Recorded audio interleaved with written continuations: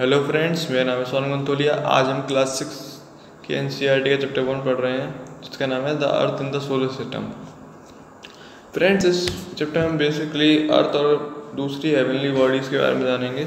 तो फ्रेंड्स इसमें बताया गया है कि कुछ जो स्टार होते हैं, जब हम रात में देखते हैं तो कुछ फ्लेकर करते हैं, कुछ फ्लेकर नहीं करते। उन पर स्टार्स के पास खुद की लाइट होती है, खुद की हीट होती है, वो अर्थ से और बाकी प्लैनेट से काफ़ी बड़े होते हैं। अब इसमें बताया गया है कि जो मून होता है, उसकी पोजीशन काफ़ी हद तक कई बार चेंज होती रहती है। जब हम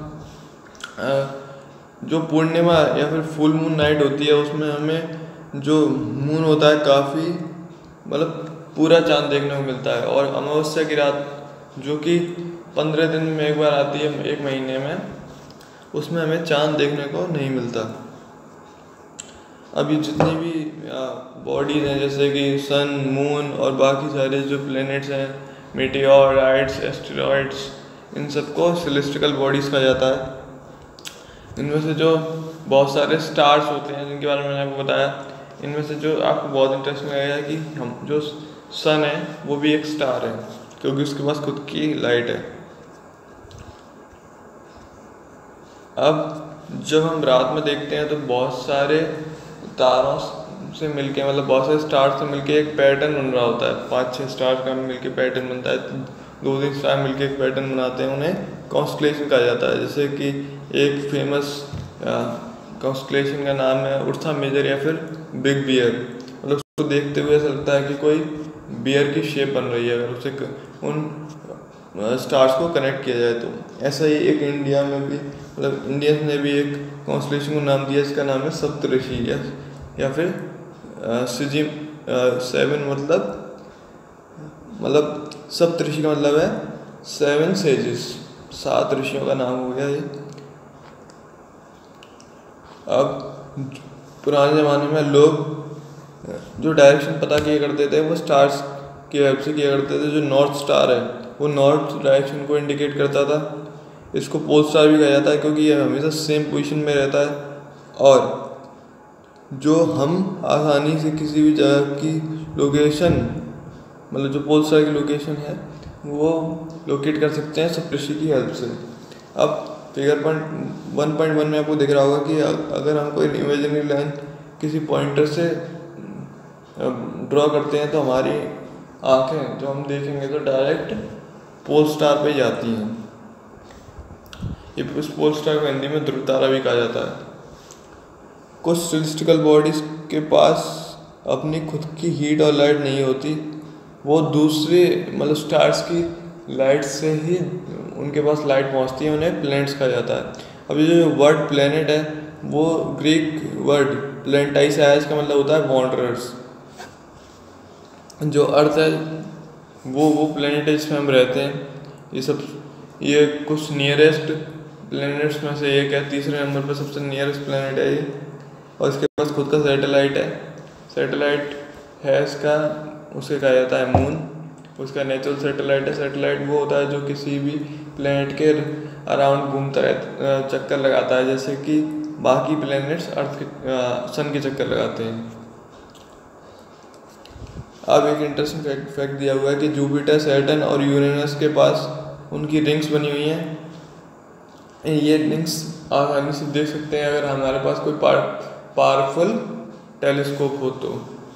अब सोलर सिस्टम सोलर सिस्टम में सन है, आठ प्लैनेट्स हैं सैटेलाइट्स हैं, कुछ सेलेस्टिकल बॉडी जिन्हें एस्टेरॉइड्स और मीटियोराइड्स भी कहा जाता है।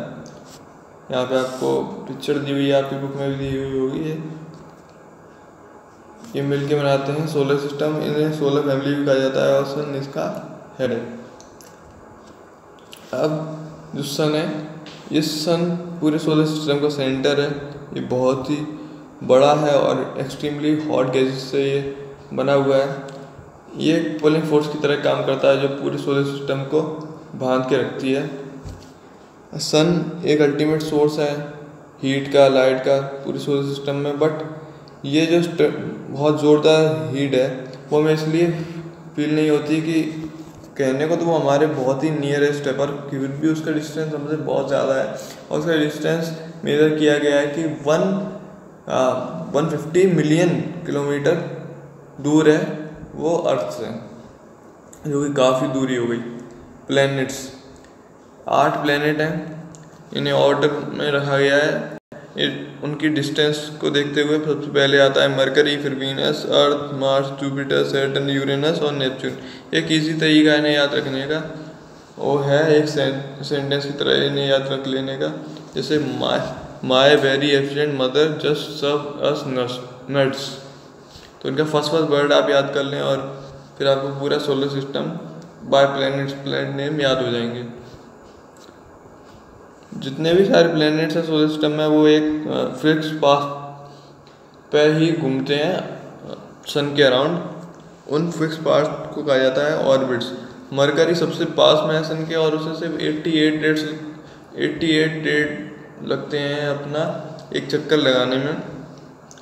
वीनस को अर्थ का ट्विन कहा जाता है क्योंकि उसका शेप और साइज़ बिल्कुल सिमिलर है अर्थ से, और 2006 अगस्त तक। प्लूटो को भी एक प्लेनेट कंसीडर किया जाता था, पर एक मीटिंग हुई इंटरनेशनल एस्ट्रोनॉमिकल यूनिट यूनियन की। वहाँ पर एक डिसीज़न लिया गया कि प्लूटो दूसरी सेलेस्टिकल बॉडीज की तरह है, जिसको कहा जाता है Sirius two two thousand three U V three hundred three hundred thirteen उनने कहा कि ये प्लेनेट नहीं है डॉर्थ प्लेनेट की कैटेगरी में आता है। तब से इसको कंसीडर नहीं किया गया वरना 2006 से पहले प्लूटो भी सोलर सिस्टम में गिना जाता था। अब अर्थ के बारे में जानते हैं।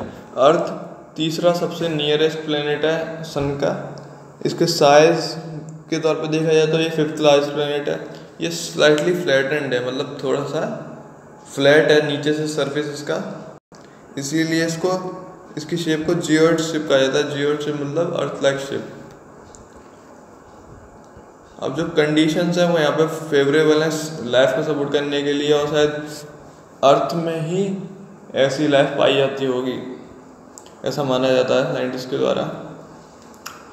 अर्थ ना तो ज़्यादा गर्म है और ना ही ज़्यादा ठंडा है। उसका टेम्परेचर सही है। यहाँ पे पानी है, हवा है, जो कि हमारे सर्वाइवल के लिए बहुत ही ज़्यादा असेंशियल है। इसी कुछ रीजन्स की वजह से अर्थ बहुत ही यूनिक प्लेनेट है सोलर सिस्टम का। और जो आउटर स्पेस है, उससे अर्थ एकदम ब्लू दिखता है। इसलिए इसे ब्लू प्लेनेट प्लेनेट भी कहा जाता है। ये ब्लू इसलिए दिखता है क्योंकि इसका ज़्यादातर सेवेंटी परसेंट पार्ट पानी से कवर्ड है। अब द मून अर्थ के पास सिर्फ़ एक ही सैटेलाइट है, उसको कहा जाता है मून इसका जो डायमीटर है मतलब ये पूरी अर्थ का हमारे, उसका एक चौथाई है। मतलब हमारे अर्थ का जो साइज़ है, उसमें चार मून्स आ सकते हैं। ये हमें इतना बड़ा इसलिए दिखता है क्योंकि ये हमारे प्लेनेट से बहुत ही ज़्यादा पास है। इसका जो डिस्टेंस है, वो three lakh eighty four thousand four hundred kilometre दूर है वो हमसे। अगर यहाँ इसका डिस्टेंस कंपेयर करें सन से तो ये काफ़ी पास है, क्योंकि सन हमसे 150 मिलियन किलोमीटर दूर है। अब जो चाँद है मतलब मून है, वो अर्थ का चक्कर लगाता है सत्ताईस दिन में, उसका एक चक्कर पूरा होता है। अब इसी की वजह से महीने भी चेंज होते हैं। एक कॉन्सेप्ट ये भी दिया गया है कि सत्ताईस दिन का पहले एक महीना हुआ करता था, पर ये एक अलग अलग कॉन्सेप्ट है, उसके बाद उसे चेंज कर दिया गया। जो मून है, उस पर फेवरेबल कंडीशंस नहीं है लाइफ को सपोर्ट करने के लिए। यहाँ पे ना तो पानी है, ना एयर है। कई बार बताया जाता है कि चाँद पे पानी देखा गया है पर ऐसा नहीं है। इसमें माउंटेन्स हैं प्लेन्स हैं डिप्रेशंस बने हुए हैं सरफेस पर कब, अब आगे बढ़ते हैं हम एस्ट्रॉइड्स के बारे में। स्टार्स प्लैनेट और सैटेलाइट्स के बाद छोटी छोटी बॉडीज हमें देखने को मिल जाती हैं।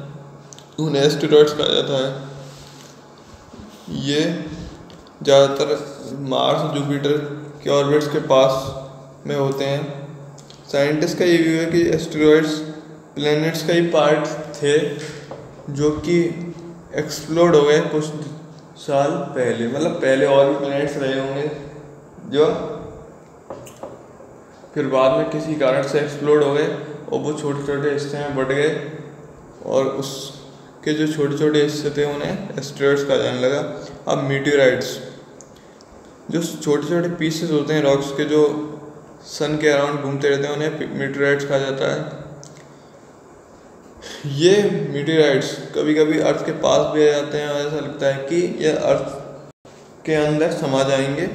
पर ये जो प्रोसेस होती है, ये फ्रिक्शन की वजह से होती है, और कभी कभी इस फ्रिक्शन की वजह से ये अर्थ में की सर्विस में आने से पहले ही जल जाते हैं और कई कई बार कोई बड़ा मीटराइड होता है तो वो पूरी तरह से जल नहीं पाता और अर्थ के अंदर आ जाता है और काफ़ी हद तक तबाही बचा देता है, गड्ढा कर देता है उस इलाके, उस जगह पर। डायनासोर के ख़त्म होने के पीछे भी एक थ्योरी दी जाती है कि बड़ा सा मीटराइड आके अर्थ से टकरा गया था। अब जो हमारी गैलेक्सी है, उसको अगर हम दूर से देखेंगे तो एकदम मिल्की मतलब ऐसा लगता है कि कोई रिवर बह रही है। तो उसे, जो हमारे इंडियंस हैं उनने तो नाम दिया था, आकाश गंगा। और जो जनरली नाम दिया जाता है, हमारी गैलेक्सी को दिया जाता है मिल्की वे गैलेक्सी। हमारे इस यूनिवर्स में हज़ार, मिलियंस ऑफ़ गैलेक्सीज हैं मतलब बहुत सारी गैलेक्सीज हैं यहाँ पे। तो फ्रेंड्स ये था इस चैप्टर के बारे में। इस वीडियो को लाइक करें चैनल को सब्सक्राइब करें इस वीडियो से रिलेटेड आपकी जो भी कमेंट्स हैं, आप मुझसे कमेंट सेक्शन में पूछ सकते हैं और आप मुझे इंस्टाग्राम पे फॉलो कर सकते हैं और फेसबुक से भी आप मुझसे जुड़ सकते हैं। Thank you